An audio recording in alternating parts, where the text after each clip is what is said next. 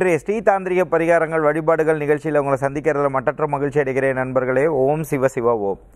இன்றைக்கி நம்ம பார்க்கக்கூடிய தலைப்பு என்ன அப்படின்னு சொல்லி பார்த்தீங்கன்னா நிறைய பேருக்கு ஒன்று மாற்றி ஒன்று மாற்றி சங்கடங்களாகவே இருந்துட்டுருக்கும். சங்கடங்களாக இருக்கும்னா ஏதோ ஒரு காரியங்கள் செய்வாங்க விக்னங்களாக வரும். விக்னங்கள்னால் தடைகளாக இருக்கும். அதே மாதிரி ஒரு பாசிட்டிவான மைண்ட் செட்டில் கல்யாணத்துக்கு ஃபிக்ஸ் பண்ண போவாங்க. அப்போ அந்த விஷயங்களில் போகும்பொழுது அந்த தொடர் தோல்விகள் இந்த மாதிரி விஷயங்கள் நடந்துகிட்டே இருக்கும். ஏதாவது ஒரு சுப காரியங்களுக்கு போனாலே ஒரு கடைசியாக வந்து பார்த்திங்கன்னா ஆரம்பிக்கிறது ரொம்ப பாசிட்டிவாக இருந்தாலும் முடிவு பார்த்திங்கன்னா வேறு மாதிரி ஒரு விஷயங்கள் போகும். இது எல்லாருக்குமே உண்டுங்க. இது இது எதை வேணால் நீங்கள் அப்ளிகேஷன்ஸ் பண்ணிக்கலாம். ஒருத்தவங்க மேலே ஒருத்தர் அன்பு வைக்கலாம். அன்பு வச்சாங்கன்னா கடைசியாக பார்த்தீங்கன்னா ஏமாந்து போவாங்க. இது கணவன் மனைவி விஷயங்களில் முதற்கொண்டு இது பொருந்தும். இதை யாரை வேணால் எந்த உறவுகளோட வேணால் வச்சுக்கலாம். எந்த காரியங்களுக்கு வேணால் வச்சுக்கலாம். இந்த மாதிரி ஒருத்தவங்களுக்கு தொடர் தடையாக இருந்துகிட்டே இருக்குது அப்படின்னு சொல்லி சொன்னால் அன்பார்ந்த நேயர்களுக்கு சொல்லிக்கிறது என்னென்னா உங்களுடைய சுய ஜாதகத்தில் உங்களுக்கு வந்து பார்த்திங்கன்னா பாதகாதிபதி தசையோ பாதகாதிபதி புத்தியோ நடக்குதுன்னோ அதே மாதிரி உங்களுக்கு பார்த்தீங்கன்னா உங்கள் ஜாதகத்தில் வந்து அந்த டயத்தில் சரிங்களா? அந்த நேரங்களில் எந்தெந்த காலங்கள்லாம் கொஞ்சம் செக் பண்ணி பார்த்தீங்க அப்படின்னா கேதுவோட சில பிளானட்ஸோட வந்து உங்களுக்கு நல்லா சாதகமாக இருக்கக்கூடிய அமைப்புகளில் இருக்கக்கூடிய பிளானட்ஸோட கன்ஜங்ஷன்ஸோ இல்லைன்னா அதோட பார்வையோ அதே மாதிரி அதோட பார்வை அங்கே படுறதுனாலையோ அவரோட தாக்கங்கள் இருக்கிறதுனாலையோ இந்த மாதிரி விஷயங்கள் நடக்கிறது உண்டு அன்பர்களே. அதே மாதிரி உங்களுக்கு பார்த்தீங்கன்னா ராகு பகவானோட தாக்கங்களும் கேது பகவானோட தாக்கங்களும் இதனால விஷயங்களை கொடுக்கறதுங்கிறது தான் அனுபவபூர்வமான உண்மை.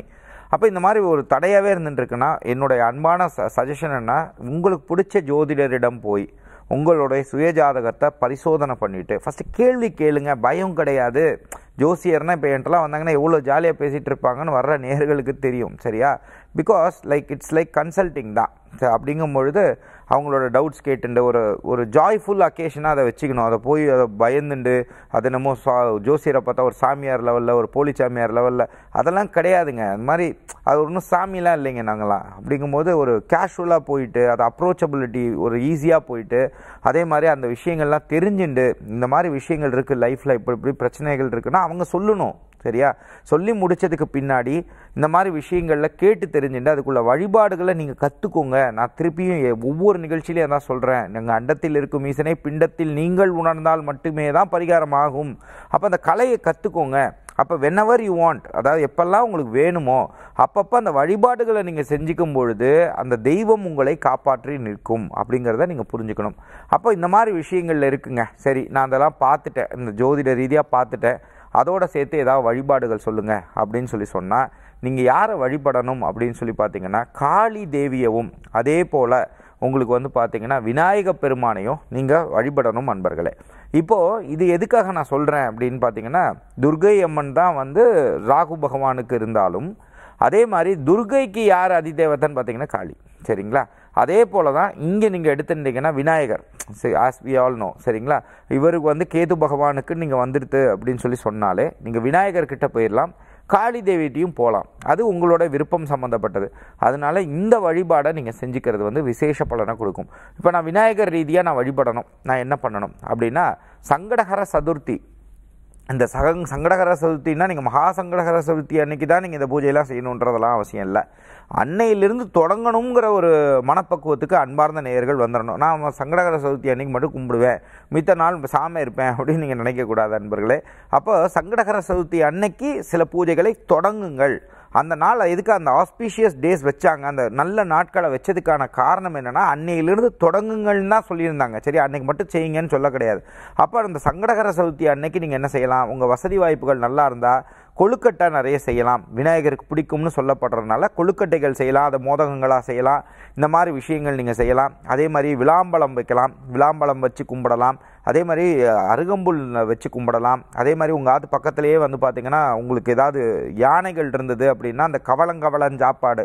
கவளங்கவளம்னா ஒன்றும் இல்லைங்க அந்த சாப்பாடை கவளம்னு சொல்லுவாங்க. அந்த உருண்டை பேர் கவளம் அந்த கவளத்தை அந்த சாப்பாடை எடுத்து கொண்டு போயிட்டு அதுக்கு அவருக்கு கொடுக்கலாம். அதே மாதிரி அது அது அவரோட வாகனம்னு நம்ம நம்புகிறோம் அவர் மூஷிக வாகனம்னு சொல்கிறதுனால அப்படிங்கும் பொழுது மூஷிக மூஷிகத்துக்குள்ள மூஞ்சூரோ அதே மாதிரி அந்த மாதிரி விஷயங்கள் தோட்டங்களுக்கு ஏதாவது ஒரு காட்டுக்குள்ளே போனீங்கன்னு வச்சுக்கோங்களேன் அந்த தோட்டங்களுக்கு போயிட்டு அந்த இதுக்கு கொண்டு போய் நீங்கள் தூவிட்டு வந்தீங்கன்னா எலிகள் சாப்பிடும் இந்த கிராப்ஸ் இருக்கிற இடத்துல தூக்கி போடலாம் யானைக்கும் நீங்கள் கொடுக்கலாம். அப்போ நீங்கள் இது பண்ணும் பொழுதும் நல்ல மாற்றங்கள் உங்களுக்கு கிடைக்கும் நண்பர்களே. அப்போ இது ஒரு வகையானது. அதே போல் அந்த யானை சாணி எடுத்துன்னு வந்து உங்கள் ஆற்றுலேயே வந்து வெங்கல பாத்திரம் எடுத்து வச்சுக்கிறது சின்ன பாத்திரமாக இருந்ததுன்னா எடுத்து வச்சுக்கிறது இல்லை நீங்கள் புதுசாக ஒன்று வாங்கி வச்சுக்கிறது அதில் யானை சாணி சாணியை பண்ணுறது இந்த யானை சாணியை வச்சு ஜெயிச்சவங்க எத்தனையோ பேர் உண்டுங்க. சரிங்களா? அப்படிங்கும்போது அந்த யானை சாணியை எடுத்து அதை நீங்கள் அப்படியே வச்சுட்டு அதையே ஒரு விளக்கு மாதிரி ஆக்கி அதில் நல்ல கெட்டி திரி போடணும். கெட்டி திரி போட்டு நல்லா குண்டாக இருக்கும். அந்த திரியை போட்டுண்டு அதில் நீங்கள் என்ன பண்ணுங்கன்னா காராம்பசு நெய்யை விட்டு உங்கள் ஆற்றுல நீங்கள் விளக்காய் ஏற்றலாம் அது ஒரு ஸ்டேஜில் என்னாகும் அதுவும் தக தக தக தகன்னு காஞ்ச உடனே அந்த யானை சாணி காஞ்ச யானை யானை சாணியும் சேர்ந்து எரியும். அதை பார்த்து ஐயோ ஏதோ தப்பாயிடுச்சே அப்படின்னு சொல்லி போய் குழம்பி வாட்ஸ்அப்பில் மெசேஜ் அனுப்பக்கூடாது. அது அப்படி தான் எரியணும். அந்த சாணியோடு சேர்ந்து எரியும் பொழுது அந்த நெய்யோடு சேர்ந்து எரியும் போது என்ன ஆகும்னா அது பஸ்பமாக மாறிடும் நண்பர்களே. அது எரிஞ்சு முடிச்ச அதை எடுத்துன்னு நீங்கள் பஸ்பமாக எடுத்துன்னு நீங்கள் திருநீர் மாதிரி எடுத்து இட்டுண்டே வர வர வர வர சகல தோஷங்களும் விலகி சிக அதாவது சில சொல்ல முடியாத சில உடல் ரீதியான உபாதைகள் இருந்தாலும் அதுவும் விலகிருங்கிறது தான் உண்மை. அப்போ நிறைய சௌபாகியங்களும் கிடைக்கும். இந்த நெய்யோட தன்மையே வந்து பார்த்திங்கன்னா மகாலட்சுமி கடாட்சம்ங்கிறது உங்களுக்கு எல்லாத்துக்குமே தெரியும். அப்போ இந்த மாதிரி விஷயங்களும் நன்மையை கொடுக்கும். சரி. அப்போ இந்த சங்கடகர சதுர்த்தி அன்னைக்கு இன்னொரு வழிபாடு பண்ணலாம். அது என்ன? இரவு நேரத்தில் இரவு நேரத்தில் இந்த மாதிரி கேது பகவான்னாலேயோ ராகு பகவான்னாலேயோ ஏதோ பிரச்சனைகள் இருக்குது அப்படின்னு சொல்கிறவங்களா இருந்தால் அன்னைக்கு சங்கடகர சதுர்த்தி நேரத்தில் வரக்கூடிய ராகு கால நேரத்தில் நீங்கள் என்ன பண்ணலாம் அப்படின்னு பார்த்தீங்கன்னா காளி தேவியை கும்பிட்டுட்டு வர்றதும் காளி தேவியை கும்பிடும் பொழுது நீங்கள் ஒன்றும் பயப்பட வேணாம். காளி தேவிங்கிறது சக்தி ஸ்வரூபம். காளி வந்து பார்க்குறதுக்கு உங்களுக்கு இப்போ வெக்காளி அம்மன் எடுத்தீங்க அப்படின்னா வெக்காளி அம்மனோட சக்தி மிகப்பெரிய சக்தி பாருங்கள் அதாவது திருச்சியில் இருக்கக்கூடிய வெக்காளி அம்மனாக இருக்கலாம் எல்லா காளி தேவியோட ஸ்வரூபம்ங்கிறது வந்து உங்களை காப்பாற்றி நிற்பா அம்பாள்.